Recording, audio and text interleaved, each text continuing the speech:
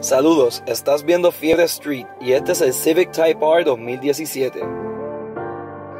Después de cuatro generaciones y 20 años de legado, por primera vez en la historia, el Honda Civic Type R llega a América, denominado FK8.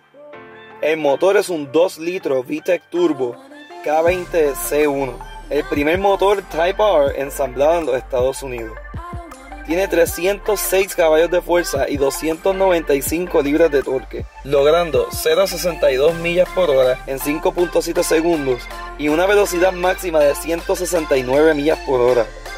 Este vehículo es el más rápido de tracción delantera en la pista de Nürburgring en Alemania, con el récord de 7 minutos 43 segundos y 8 milésimas. El sistema de escape termina en tres salidas, donde la central sirve como un resonante creando presión negativa para darle un tono mucho más agradable. La suspensión es una de Multilink con un sistema magnético ajustable, diferencial mecánico de poco deslizamiento o Limited Slip Differential y también sistema de torque vectoring, donde utiliza los frenos independientemente para mejorar su desempeño en curva. Tiene lo que llaman Vortex Generators, que realmente crean downforce o fuerza de apoyo para evitar que se levanten en altas velocidades trae tres modos, Comfort, Sport y Plus R, que modifican las dinámicas del guía, suspensión y respuesta de aceleración. Auto Rev Matching iguala las revoluciones al bajar de cambio. Dependiendo de dónde consigas información del Type R, puedes notar alguna discrepancia en el caballaje.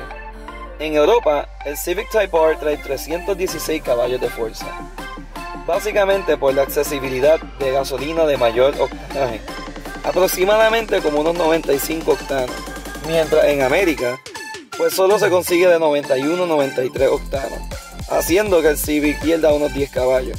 Pero conociendo el puertorriqueño, yo no creo que eso dure por mucho tiempo.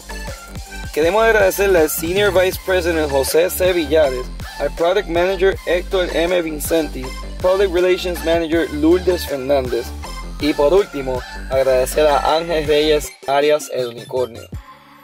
Este modelo está disponible en el dealer Bella Group Kennedy, así que pasen a verla. El Civic Type R no decepcionará.